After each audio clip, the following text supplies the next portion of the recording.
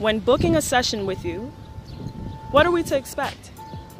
Expect when you're booking a session with C.E.L.L Beatz, your boy. What you won't expect, it's gonna be an open, um, come as you are. Don't try to switch up, don't try to act like a certain way where you have to feel like you have to be all, you know, be loose, you know?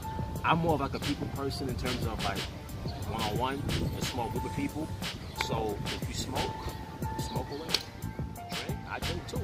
pop with some bottles. I'm more of like a get to know you type, type of person before I start doing music. I gotta identify you first, see a vibe, what you like, what you don't like, and you do that through you know, know someone, vibing with them, you know?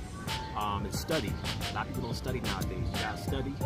You gotta um, study people's habits. You gotta study people's work ethic. You gotta study how they go about things. So you be prepared when they come to your world. You have to share our world together and build something very, very beautiful. You know what I mean? So that's what you can